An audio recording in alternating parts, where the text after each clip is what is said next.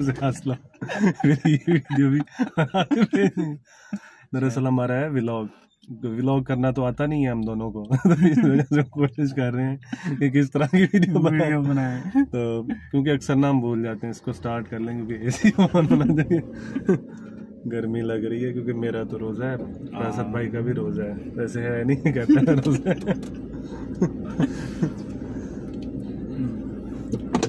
ठीक है अस्सलाम वालेकुम वबरकातुहू। तो जैसा कि आप सब भाई जो है हमारा चैनल देख रहे हैं फरासत अली के नाम से। तो हमने एक पहला व्लॉग बनाया था तो उसमें आपको बताया था कि इस चैनल पे आपको जो है इन ड्राइवर, क्रीम, उबर इस हवाले से जो है इंफॉर्मेशन के लिए वीडियोस मिलेंगी।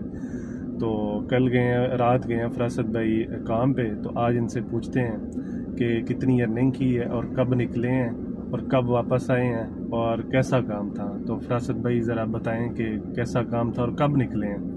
अस्सलाम वालेकुम। सब भाई कैसे हैं? ठीक ठाक हैं? अच्छा आसान भाई मैं निकला हूँ रात को तकरीबन कोई ग्यारह सवा ग्यारह बजे निकला हूँ और मैंने पहली राइड कौन सी है? वो येंगो की ली है। अच्छा। तो येंगो की राइड मुझे वो छोटी मिली थी तकरीबन चार पाँच किलोमीटर की राइड थी तो मैंने कहा चले स्टार्ट करने से पाँच किलोमीटर की राइड बेहतर है। सही है। तो आपने सोचा कि ना होने से कुछ हो जाए बेहतर है। हाँ सही है तो फिर उसके बाद मैं काफ़ी देर तकरीबन कोई 20-25 मिनट खड़ा रहा हूँ अच्छा। 20-25 मिनट के बाद मुझे फिर यंगो की राइड मिली है ठीक है तो वो मैडम की ड्रॉप ऑफ़ लोकेशन गलत थी उन्होंने अच्छा। वो लिख के मतलब कि अक्सर जो कस्टमर होते हैं ना वो लिख के मतलब के जो पिकअप पॉइंट होता है ना वो उस पर हाँ। वो टाइप कर देते हैं अच्छा चले मैं आपको एक और चीज़ बताना चाहूँ वो आगे बता दें कि जब भी आप येंगो की राइड कराएँ इन ड्राइव की राइड कराएँ तो उसके ऊपर जो पिकअप लोकेशन है वो आपने टाइप नहीं करनी आपने करनी है ड्रॉप ऑफ़ लोकेशन तो आप सोच रहे हैं कि पिकअप लोकेशन पे हमने क्या टाइप करना है? तो पिकअप लोकेशन जो है ना वो आपके मोबाइल की करंट लोकेशन आ जाएगी जहाँ पे आप खड़े हैं वो ऑटोमेटिक ही वो हो जाएगा। तो आपने जो है पिकअप लोकेशन नहीं ऐड करनी आपने ड्रॉप ऑफ़ लोकेशन ऐड करनी है तो फिर जाके आपकी लोकेशन जो है सही जाएगी। अच्छा तो फिर आपने उनको समझाया नहीं कि आपने इस तरह से वो मैंने उनको समझाया मैंने उनका ना पंद्रह मिनट उन्होंने डाली थी बुंदू खान की लोकेशन अच्छा। वो फ़ेज़ फोर में थी बुंदू खान तो उन्होंने डाल दी पंजाब सोसाइटी उधर मुझे पंद्रह मिनट पहले उन्होंने वेट करवाया। अच्छा। पंद्रह मिनट वेट के बाद जब उनको मैंने कॉल की कि मुझे मैडम पंद्रह मिनट हो गए इधर खड़े हुए तो उन्होंने कहा मैं तो बुंदू खां के सामने खड़ी हूँ। मैंने कहा मैं भी बुंदू खां के सामने खड़ा हूँ। ठीक है। तो मैंने फिर पूछा उनसे कि, कि कौन से बुंदू खां के खड़े हैं? उन्होंने बोला कि मैं फ़ेज़ फोर पे खड़ी हूँ। अच्छा। मैंने कहा नहीं जी आपकी जो पिकअप लोकेशन है वो गलत है। ठीक है। आपने पंजाब सोसाइटी की डाल दी है। अच्छा तो- मतलब पंजाब सोसाइटी में भी बंदू खान था? जी बुंदू खान अच्छा के आप उधर खड़े थे वो दूसरे से। फ़ेज़ फ़ेज़ फोर वाले पे खड़ी खड़ी हुई थी। अच्छा। तो फिर वो राइड कैंसिल हुई मतलब कि फिर मुझे कोई आधा पौना घंटा उधर वेट करना पड़ा फिर मैं आस्ता आस्ता मूव हुआ फ़ेज़ फोर की तरफ़। फिर अच्छा। मुझे उधर से इन ड्राइव की राइड मिली। ठीक है। तो फिर ऐसे इन ड्राइव की करता रहा करता रहा फिर उसके बाद मुझे फिर एक यंगो की मिली राइड से ठीक है। तो मतलब कि मैंने तकरीबन कोई सात घंटे काम किया है। अच्छा। टोटल जोन सा है अच्छा तो अर्निंग कितनी की है टोटल आपने? मैंने सान भाई अर्निंग की है तकरीबन कोई बासठ सौ की बासठ सौ कुछ रुपये हुआ है अच्छा तो उसके ऊपर आपने गाड़ी कितना चलाई है? मैंने सान भाई गाड़ी चलाई है तकरीबन 160 किलोमीटर। 160 किलोमीटर। अच्छा वैसे ये गाड़ी ज़्यादा नहीं चली आम रूटीन से वैसे देखा जाए तो? सान भाई गाड़ी इस वजह से ज़्यादा चली है क्योंकि रमज़ान में ना काम स्लो की वजह से। हाँ।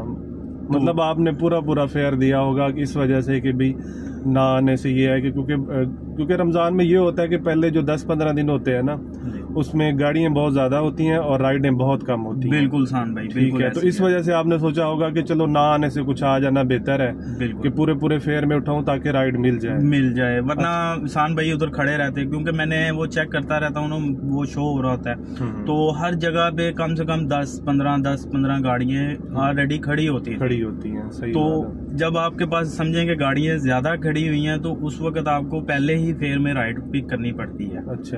अच्छा मुझे ये बताएँ कि साढ़े अपना छः हज़ार दो सौ पचास की आपने अर्निंग की है बासठ सौ की।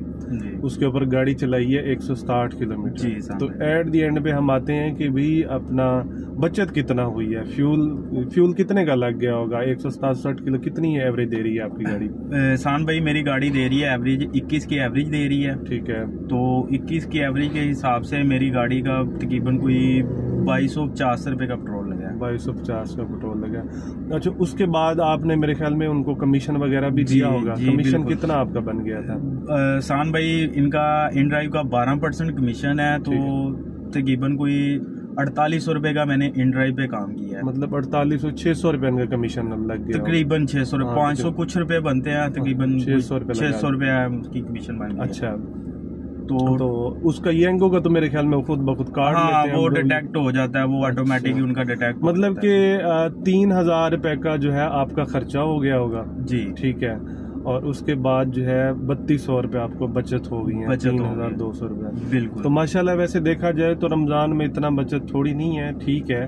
लेकिन उसके साथ साथ आपको पता है कि गाड़ियाँ बहुत महँगी हैं। मेंटेनेंस भी होती है।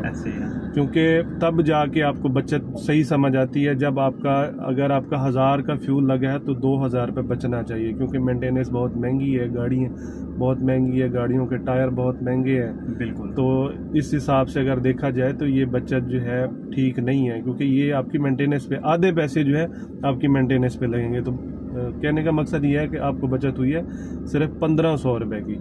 पंद्रह सौ पंद्रह सौ से ऊपर क्योंकि पाँच छः सौ रुपये तो वाश वाले ले लेते हैं। ऐसे ही है। हर दूसरे दिन जो है गाड़ी वाश करवानी पड़ती है। बिल्कुल ऐसे ही है तो अगर आपका दो हज़ार का फ्यूल लगा है तो उसके ऊपर चार हज़ार बचत होनी चाहिए क्योंकि चार दो हज़ार की फ्यूल में आपकी तक, तकरीबन जो है तकरीबन हज़ार पंद्रह सौ की मेंटेनेंस हो जानी है। अब पूछ रहे हैं कि मेंटेनेंस ऑयल चेंज हो गया बाकी गाड़ी का काम हो गया उसके अलावा ये चीज़ होती है कि छोटी मोटी खराशें भी लग जाती लग जाती हैं। क्योंकि नई गाड़ी है तो वो तकरीबन जो है चलती रहेगी डेढ़ दो साल उसने काम नहीं निकालने। ऐसे ही है। जब गाड़ी दो साल बाद आएगी तो फिर वो एक ही दम से काम निकालेगी। तो समझ लें कि अगर वो ना तो वो किसी मतलब फैमिली यूज़ में आप चला सकते हैं।